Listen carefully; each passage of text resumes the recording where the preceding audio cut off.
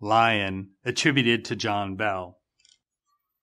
This earthenware sculpture of a lion, produced more than 150 years ago, still bears tangible traces of its maker and the niece to whom it was gifted.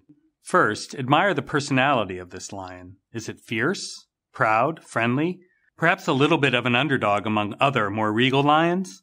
Its diminutive size, slightly splayed puppy dog stance, and wide nostriled grimace project a quite particular character. Next, look for the hand of the artist, probably John Bell, on the surface of his body. There are the careful nicks that outline each tooth and delineate each paw. But there are even more visceral marks, too.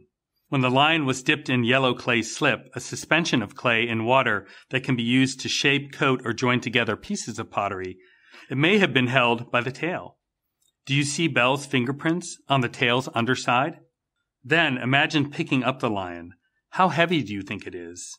If you shook it, would you hear the rattle of the pencil that Bell's niece, recipient of the lion, inserted through an ear cavity? Folk art can be a link to the past, not just in showing us images of it or teaching us about it, but in preserving pieces of the people who created it and who enjoyed it. The lion brings us vestiges of John Bell through his artistic choices, his genial sensibility, and literally his touch.